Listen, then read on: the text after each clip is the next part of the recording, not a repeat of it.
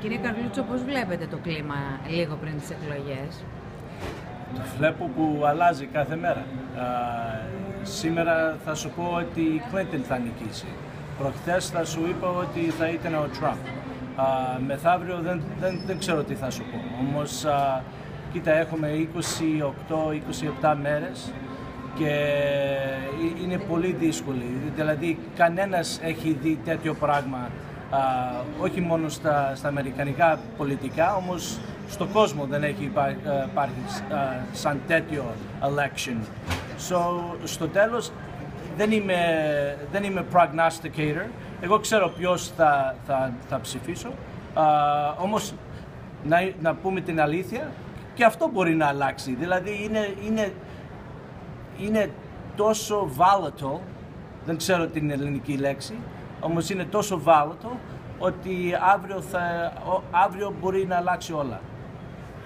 Ε, τα βασικά λάθη του αυτή τη στιγμή, μάλλον τα μειονεκτήματα που έχει ο Τραμπ, πιστεύετε ότι μπορούν να τα, μπορεί να τα αντιμετωπίσει; Όλα όσα έχουν βγει δηλαδή στη δημοσιότητα, όσα έχουν ε, το τελευταίο διάστημα ακουστεί, ε, μπορεί να τα αντιμετωπίσει; Γιατί αυτή, είναι, σύμφωνα με τις δημοσκοπήσεις η Χίλαρη Κλίντον προηγείται με μεγάλο ποσοστό. Θα είναι πολύ δύσκολο. Γιατί, κοίτα, στο τέλος, σαν political scientist, ο, ο Trump έπρεπε και πρέπει να κερδίσει 62% α, τους ψήφους της γυναίκες. Και με όλα αυτά που έχουν βγει μέχρι αυτή την εβδομάδα, θα είναι πολύ δύσκολο. Όμως, σαν σας είπα πριν, αύριο μπορεί να αλλάξει. Δηλαδή, αν είναι κάτι με το ISIS, αν είναι και άλλα πράγματα από το Wikileaks, μπορεί να αλλάξει όλα αύριο. So, μέχρι τώρα σου λέω ότι η Clinton θα νικήσει, όμως αύριο μπορεί να αλλάξει.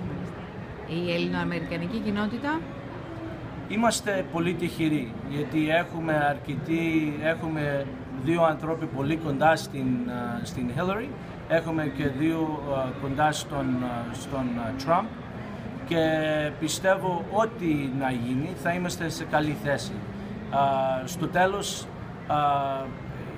οι Έλληνο-Αμερικανοί θα είμαστε εκεί που πρέπει, σαν είμαστε πάντοτε. Θα είμαστε τυχεροί δηλαδή διότι οι άνθρωποι που είναι κοντά στη Χίλαρη Κλίντον και στον Ντόναλτ Τραμπ, ή το ένας βγει πρόεδρος ή το άλλος, είναι, είναι κοντά στην. Είναι, είναι κοντά στην ημογένεια, είναι κοντά στην, στο λενισμό, είναι στο αίμα τους, σαν στα αντιδικά μου. So, πιστεύω στο τέλος θα είμαστε καλά σαν ημογένεια.